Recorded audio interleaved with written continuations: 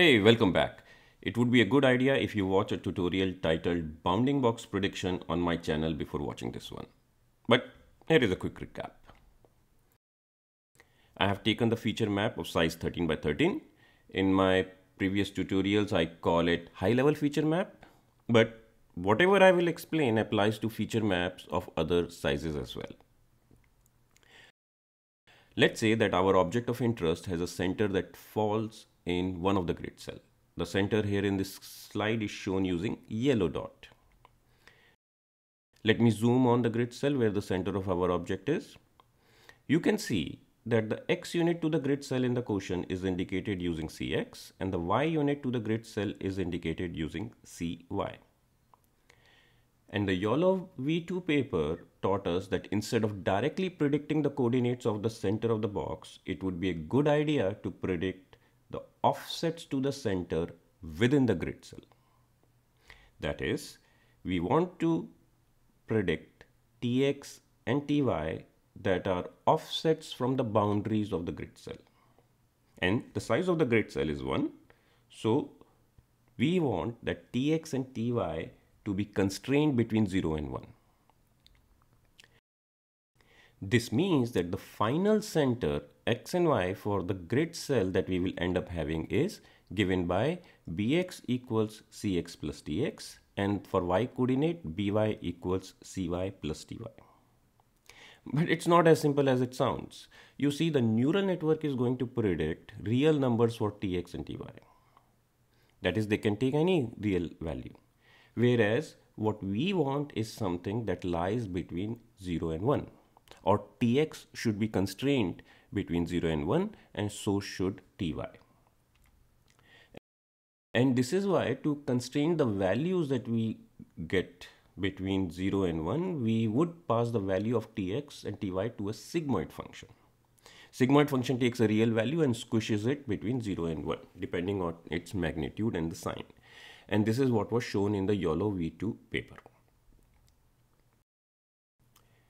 But there is a little problem with this setup. Imagine that the x coordinate of the bounding box was at the start of this grid cell. It's not within the grid cell. In other words, we want regression offset for the x coordinate to be 0. But then in order to get 0 from the sigmoid function, you better have tx which is a large negative number.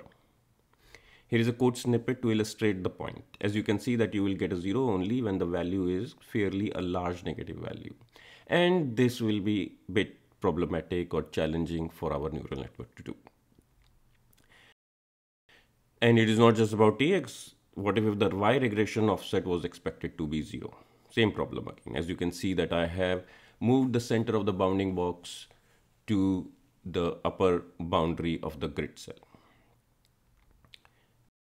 The problem is there when the center is on the rightmost side of the grid cell. In other words, we want the regression offset for the x coordinate to be 1. But for this, the sigmoid function will give you a value of 1 when your network has a large value for tx. And stuff would be similar for ty as well. And this is a problem that was addressed in YOLO V4 paper published in 2020. This is a gem of a paper, and the effort that the authors made by conducting various experiments are really interesting and provide good insights. One set of their experiments fall in a category they call bag of freebies. Essentially, what could we do during training with minimal or no extra computation added during the test? Meaning it does not affect your frames per second. And as part of bag of free bees, they solved this grid sensitivity problem. The problem that I illustrated earlier, where if your center of the bounding box is on the walls of the grid cell, it is called a grid sensitivity problem. You can see that they are also talking about that how predicting the high Tx and ty absolute values is going to be a challenging thing in order to accomplish or resolve the grid sensitivity problem. The solution they propose is to multiply the result of the sigmoid function with a hyperparameter greater than 1.0. But this paragraph is not very clear. So let me provide some visual aids to explain it. This is our current formulation for the Bx. Uh, you should understand it by now. And if my recap was not sufficient, then please do watch the bounding box prediction tutorial. As you can see, I'm calling it an old formulation. The authors of YOLO V4 paper are suggesting to modify the equation something like this. The alpha here is a hyperparameter.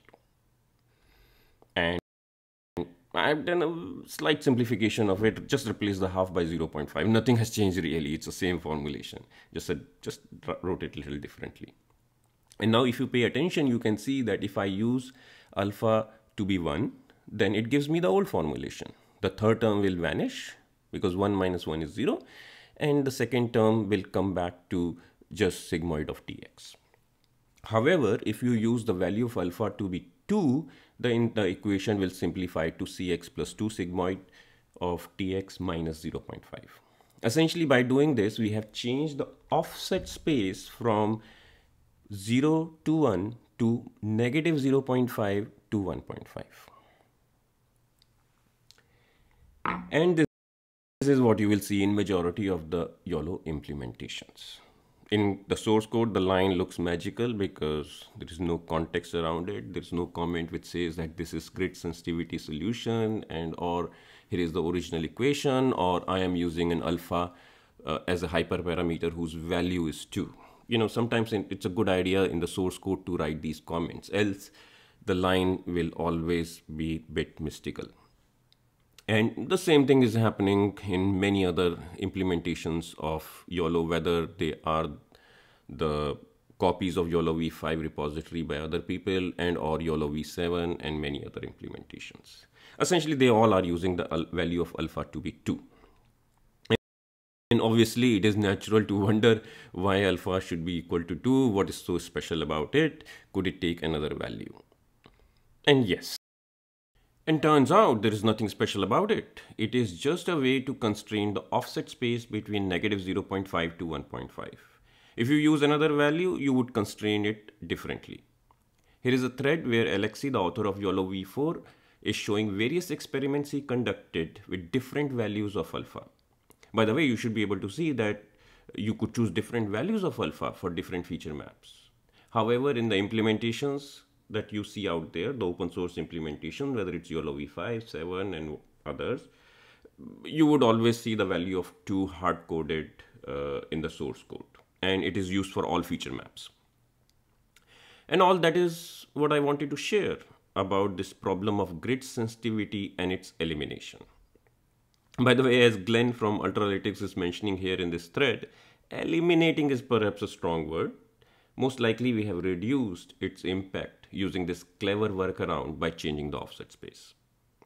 Hope you find this tutorial helpful. Let me know if you have any questions and comments and I would try my best to answer them. I wish you good luck in your learnings. See you in another tutorial. Bye bye.